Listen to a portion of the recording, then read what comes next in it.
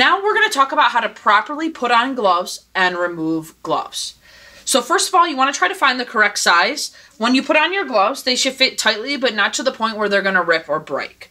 So what we're going to do first is we are going to take our gloves and we are going to put them on, making sure we get all our fingers in each hole.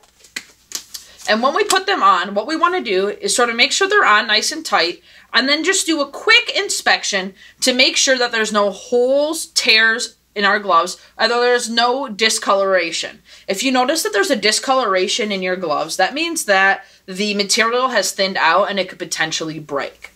Now that we've discovered that our our gloves are okay, we can then move on and provide whatever um, skill we may need to do for our patient. Now we're ready to remove our gloves. When we go to remove our gloves, what we want to do is make sure we're doing this in a very cautious fashion. We want to make sure that we're not touching our skin with the outside of our gloves because there's a lot of bacteria or microorganisms on these gloves. So what we want to do is we're going to take our finger, doesn't matter which one we do, and we're going to pinch the gloves on the outside. We are not reaching under, we're not touching our skin. All right, so we're going to pinch at the bottom palm then what we're going to do is take and pull them inside out and ball it up in our gloved hand. Now what we're going to do with our ungloved hand here is go underneath. You can use one finger, two fingers, all right? And you're going underneath. So you're not touching the outside. You're going underneath here. And we're pulling that inside out.